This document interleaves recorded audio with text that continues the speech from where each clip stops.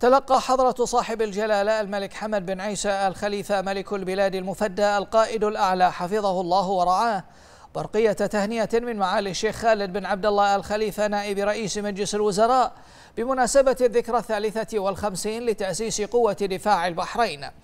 ورفع نائب رئيس مجلس الوزراء في برقيته أسماء آيات التهاني والتبريكات إلى مقام جلالة الملك المفدى السامي مشيدا بما وصلت إليه قوة دفاع البحرين من جاهزية تامة واستعداد دائم بفضل قيادة جلالة الملك المفدى حفظه الله ورعاه وتوجيهاته الحكيمة التي أعلت من شأن هذه المؤسسة والتي وضع لبناتها الأولى وأشرف على تأسيسها ورعايتها والتي ينظر إليها الجميع بعين الفخر والاعتزاز لما كانت ولا تزال تقوم به من دور مقدر في حماية أمن الوطن والذود عن حياضه والدفاع عن مكتسباته.